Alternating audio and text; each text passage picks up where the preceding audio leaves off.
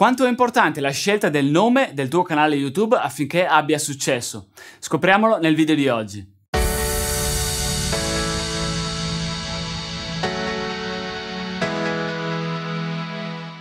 Ciao, sono Paolo e in questo video scopriamo insieme quanto vada ad impattare la scelta del canale YouTube affinché possa avere successo. Questa è una domanda che mi è stata posta alcune volte, perciò ho deciso di farci un video per fare un po' di chiarezza e condividere i miei pensieri. Innanzitutto ci sono alcune premesse da fare, ovviamente se hai un'attività, se hai un brand già avviato è ovvio che abbia senso dare il nome al canale YouTube del tuo brand.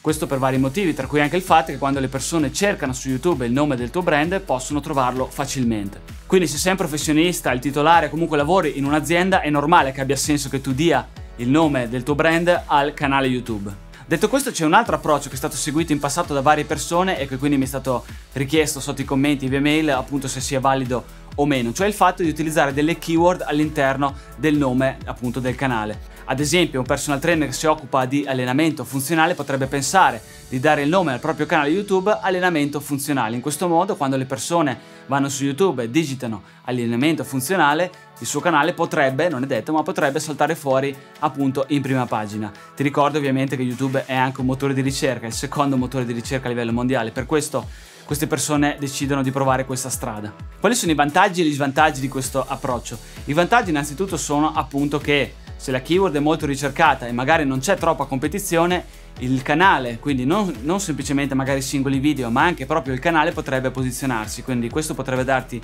una spinta, un vantaggio dal punto di vista del posizionamento organico. Gli svantaggi, quindi l'altro lato della medaglia, è che dare un nome così generico a un canale YouTube non credo sia un'ottima idea. Questo perché sarà molto difficile che le persone riescano a ricollegare quel nome al tuo volto nel lungo periodo perché ci sono tanti personal trainer che fanno appunto predicano questa disciplina diciamo così insegnano questa disciplina e lo utilizzano con i propri clienti. Quindi riuscire a fare, fare alle persone il collegamento mentale in questo esempio allenamento funzionale con il tuo canale YouTube è un lavoro molto molto duro e richiede molto sforzo e tanto tempo quindi non è una cosa assolutamente facile. Una strada sicuramente migliore potrebbe essere quella di provare a inserire la parola chiave nel nome del canale e aggiungere magari il tuo nome e cognome. Ho visto fare varie volte e questo credo abbia più senso, quindi allenamento funzionale con Mario Rossi. In questo caso diciamo che la situazione è un po' borderline, però sicuramente ha più senso che dare un nome generico di una parola chiave a un canale. Detto questo tieni presente che saranno sicuramente i contenuti, quindi i video a posizionarsi sicuramente meglio rispetto che a un canale, questo ovviamente a meno che il canale non abbia un nome con una keyword veramente poco competitiva, ma se parliamo nell'esempio sempre stesso del fitness, allenamento funzionale, ci sono tanti video che sono stati creati a riguardo sicuramente. Quindi il fatto di dare il nome al canale non è detto che ti porti in prima pagina, anzi è molto più probabile che ci saranno dei video che si, si andranno a posizionare meglio. Quindi in realtà il vantaggio di questa scelta potrebbe cadere nel momento in cui ci sono dei contenuti già creati intorno a quelle parole chiave che sicuramente l'algoritmo propone di più. Ci sono tanti canali che hanno dei nomi che sembrano impronunciabili, in realtà adesso sono diventati quasi dei brand perché hanno, questi canali hanno raggiunto un successo enorme, ma agli inizi erano praticamente sconosciuti, erano impronunciabili. Quindi questi canali con questi nomi impronunciabili nel corso degli anni facendo video fatti bene sia dal punto di vista tecnico che dei contenuti sono riusciti a crearsi un seguito tale che ormai le persone riescono a ricordarsi il nome di quel canale, ma agli inizi era veramente dura. Quindi questo per dirti cosa?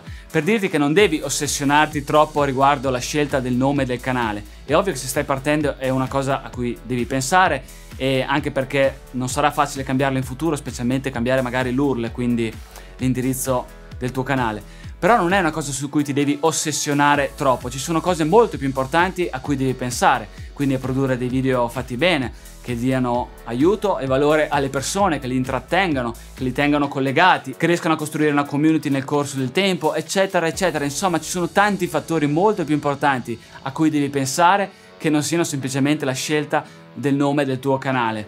Ribadisco, ho visto tanti canali, sia italiani che all'estero, raggiungere ottimi numeri, quando dico ottimi numeri intendo anche delle volte miliardi di visualizzazioni quando parliamo del YouTube a livello mondiale, con dei nomi che sembrano impronunciabili, o almeno lo erano agli inizi, adesso sono entrati nella nostra testolina, ma agli inizi erano veramente difficili da ricordare.